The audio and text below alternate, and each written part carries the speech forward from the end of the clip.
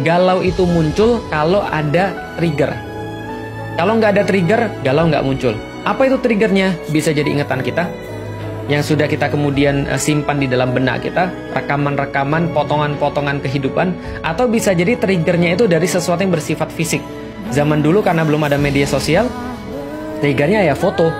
Kalau nggak foto ya rekaman misalnya, atau misalnya nomor teleponnya misalnya atau misalnya ya apa pun lah yang paling banyak ya foto atau misalnya buku yang dia kasih atau boneka yang dia kasih atau kemudian apalah yang kemudian mengingatkan kita pada dia itu trigger. Nah untuk langkah pertama bagi teman-teman sekalian setelah mulai dengan menyadari kesalahan lalu kemudian buat keputusan yang benar sesuai dengan gambaran yang kita inginkan maka mulailah untuk menghilangkan trigger-trigger yang bisa membuat kita galau yang buat kita nggak fokus.